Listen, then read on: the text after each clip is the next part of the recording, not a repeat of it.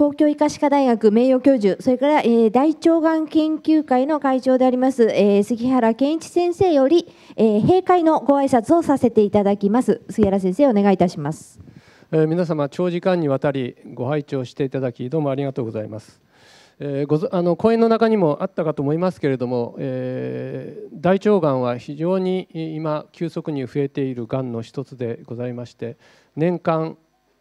約13万人を超える方が大腸がんにかかるようになりあの大腸がんがんの中でも一番多いがんになりました、えー、おそらくここにご参加の方々は身近な方ないしはご本人が大腸がんにかかったという方が多いのではないかなというふうに思います。ただそのような場合大腸がんとは一体どういうものかどうやって治したらいいのか一番いい治療法はということを心配になって情報を集めるわけですけれどもやはり今インターネットで、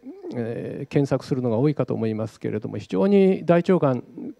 検索してみると分かると思いますけど多くの情報があります。その中には室先生が繰り返ししつこく言ってましたけれども偽のいい加減な情報がいっぱいあります。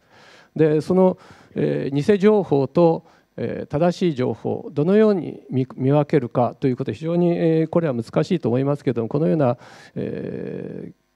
市民公開講座ないしは一般の方々を対象にした講演会にぜひ参加していただいて正しい大腸がんの知識を身につけていただければというふうに思います。まあ、我々がやっているブルーリボンキャラバンというのがございましてこのようなあの正しい知識を日本全国の方々に届けようということで2011年からこの活動を始めていて、え、毎年この会場で3月にこの会場で行っていて多くの方に参加してもらっていると思います。ただ1回で大腸がんの全てを講演するないしお話しすることができませんのでぜひとも、えー、来年もまた開きますので、えー、ご参加していただければというふうに思います。またあの今回多くの先生方の講演にありましたように、えー、日本の大腸がんの診断治療は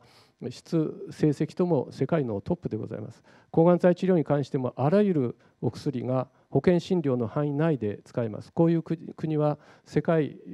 中日本だけでございます。ですから、えー、まあ、大腸がんになったとしても、えー、きちんとしたガイドラインにのっとって治療をお受けになっていただければえ世界の中で一番いい治療を受けられているのだというふうに安心していただければというふうに思います。以上、えー、簡単ではございますが、えー、最後の、えー、挨拶とさせていただきます。本日はどうも、えー、ご参加していただきありがとうございました。